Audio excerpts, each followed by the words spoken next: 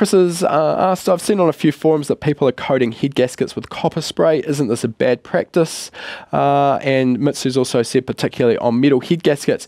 Okay, I wouldn't say it's a bad practice. I have used copper spray on a MLS steel gasket, and I've also done it without.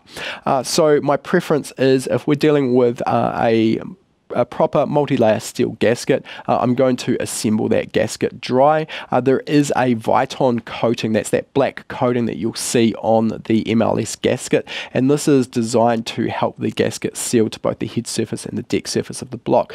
Uh, so that copper spray is not essential, it's not necessary, and it's not going to actually help the gasket do its job any better.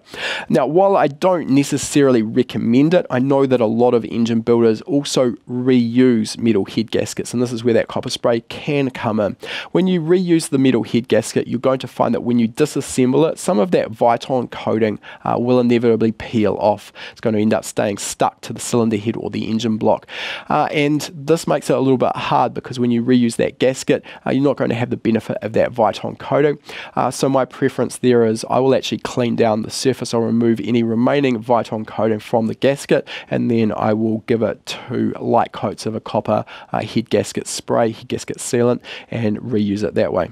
Of course, the best solution there is simply to use a new gasket every time. That question was taken from one of our free live lessons. If you like free stuff and you're the type of guy who wants to expand your knowledge, click the link in the description to claim your free spot to our next live lesson.